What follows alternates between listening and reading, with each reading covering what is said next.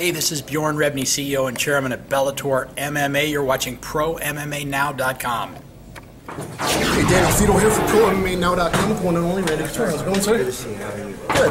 What, uh, what basically brought about this whole thing? How hard of a, was, of a decision was it to decide to come to this Spike TV to Bellator? Well, see, Sharon and, and Kevin Kay approached me about being part of the, the show they were trying to build, and uh, you know, I think they knew significantly how that would affect me going forward.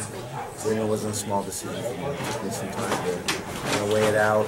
Uh, I think in a lot of ways give you know give the UFC uh, the option to, to try and continue with the company in some significant way, and they didn't really have have anything that they wanted to use before. So uh, obviously I had to do that delicately. I couldn't disclose what the offers on the table were, but sure. Uh, I had to sign an NDA even to hear the pitch. So uh, it is what it is. Um, and kind of been anticipated what the response would be uh, from Zuffa, and, and it was, it was Yeah. Well, s- speaking of that, does it, does it does it hurt you personally to hear Dana say these things and say you're not a nice guy, you're really Captain America and whatnot? Yeah. Do you know Dana's Dana? And I, of course I know Dana's Dana. I've heard all, all those sorts of things from him before. And, uh, it's not surprising, and uh, you know, he, he does the same thing, you know, with fighters all the time.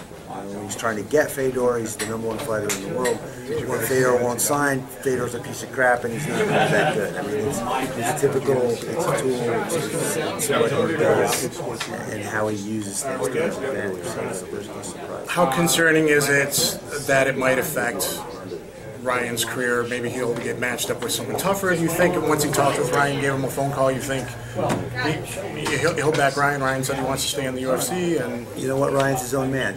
Ryan has uh, created his, his, his own fighting style. He, he does the work. He's obviously uh, improved significantly and, shown that he deserves to be at that level and, and compete there.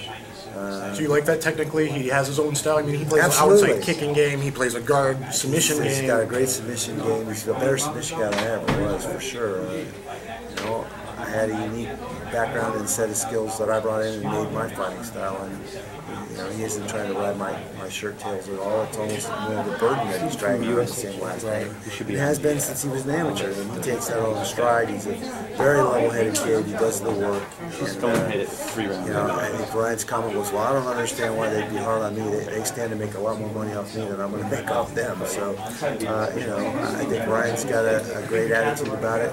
Obviously, had some, some very serious discussions with him about what was going on, and, and so he's been aware of it from the start and, and how the you know the decisions I make could potentially affect his future as well. So. Do you really like that Bellator focuses on the fighters, their own destiny? Um, you know, sounds like the, the show is going to be very much about learning different skills, filling up gaps in your game. Well, the Fight Masters, I think, is, is that's the emphasis. That was one of the things that appealed to me about the pitch. Uh, you know, uh, so I'm excited about that opportunity to hopefully affect some young athletes and, and, and make them better. And how's the movie crew going? I spent a couple days on the set of um, Without Guard or Absent Guard, Rush. With Rush, And yeah. they, they were talking to me and they said they were really impressed with both your acting and the fight scene that you had with both. Yeah, well, that was a lot of fun, and what a unique night that was. You know, on the parking garage in the pouring down rain in L.A. Uh, with with those amazing backdrops in the L.A. skyline, and know, that uh, Rush was a lot of fun. I think uh, probably raised some eyebrows. Some of the things that, that I did in, in the course of that movie. They were talking a lot about it. I talked to Benny the uh, Jet as the choreographer. I saw some nice stills of you in the, you know, cop car and whatnot. So, Yeah, yeah. what's uh, you First said? time wearing handcuffs. Yeah, oh, well, that's good. So, uh, One wondered about that. Yeah. What What about what's coming up in March? You said you had another film. Yeah, I have a, a movie coming up in March called Distant Shore, and I'll be playing uh, with Scott Adkins, kind of a psycho thriller. Uh, play the psycho. Yeah, well, you like playing the bad So, guys. It's well, fun you know, make a I- turn. th- this will be my third opportunity to, to kind of play the the, uh, the antagonist in it. I did it first with Scorpion King 2, and then uh, obviously uh, Rush. I play the, the main antagonist in that. So uh, um, there's something about getting to you know, kind of do some of the things that you would never do in real life. Uh, And then Expendables 3 in August, it looks like? Absolutely. Like we're gonna ramp that up. It's, it's gonna start shooting in, in August.